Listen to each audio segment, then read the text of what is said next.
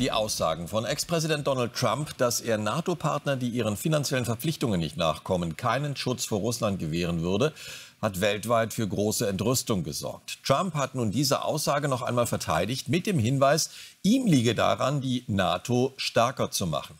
Sie zwingt jedoch die angesprochenen Mitglieder des westlichen Verteidigungsbündnisses dazu, darüber nachzudenken, was wäre, wenn im Fall der Wiederwahl von Trump aus einer Drohung ernst wird. Ein Thema, das auch in Deutschland kontrovers diskutiert wird. Polnische Soldaten patrouillieren an der Grenze zu Belarus. Seit dem russischen Angriff auf die Ukraine hat das NATO-Mitglied und Nachbarland Russlands massiv aufgerüstet. Allein bis zum Sommer 2023 gab Polen rund 14,6 Milliarden Euro für Panzer, Raketenabwehrsysteme und Kampfflugzeuge aus. Denn die Angst vor einem Krieg mit Russland ist groß. Nicht zuletzt, nachdem Ex-US-Präsident Trump deutlich gemacht hat, dass die USA seine Partner vor einem russischen Angriff nicht verteidigen würde, wenn sie die NATO-Beiträge nicht vollständig gezahlt haben.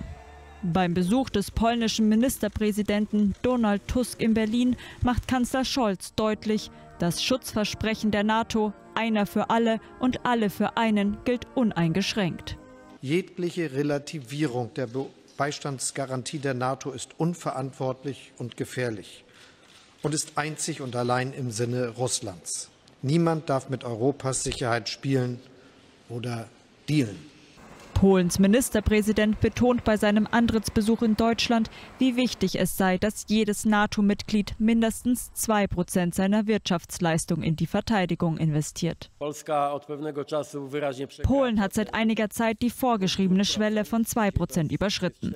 Es sind inzwischen 4 Prozent.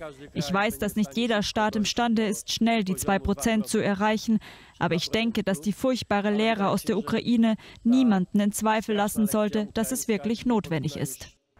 Auch Deutschland bereitet sich vor. Mit seiner neuen Munitionsfabrik in Niedersachsen will der Rüstungskonzern Rheinmetall die Produktion von Artilleriemunition, Explosivstoffen und Raketenartillerie massiv hochfahren. Denn Deutschland und seinen Verbündeten fehlt es an Munition, die angesichts der Bedrohung durch Russland dringend notwendig ist. Wir müssen unsere eklatante Schwäche im Bereich der Munition so schnell wie möglich schließen. Und dazu ist dieses Werk dringend erforderlich. Denn ich habe so den Eindruck, die Zeitenwende ist noch nicht überall verstanden. Die Zeitenwende ist leider auch bei unseren europäischen Partnern noch nicht überall verstanden. Europa muss sich selbst verteidigen können, so Christoph Heusken, Chef der Münchner Sicherheitskonferenz.